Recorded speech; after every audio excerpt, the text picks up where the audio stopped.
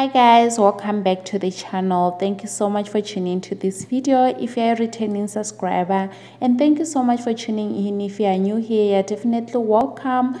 Please do the right thing by clicking on that red subscription button down below. It's absolutely free and also don't forget to turn on that notification bell. So guys in this video we're looking at the teasers of Gen for this week. Durban Gen is about to make headline news about a rare and never been done in SA surgery.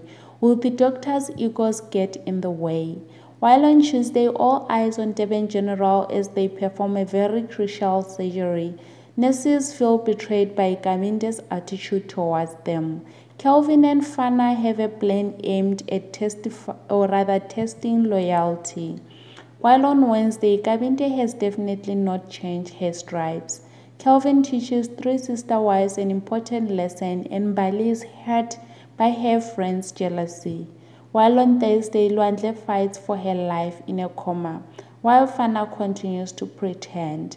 And finally, on Friday, Bali is heartbroken by Lindelani's situation. Snare tries to prove that she can be trusted by the other nurses and Tabo refuses to operate to London.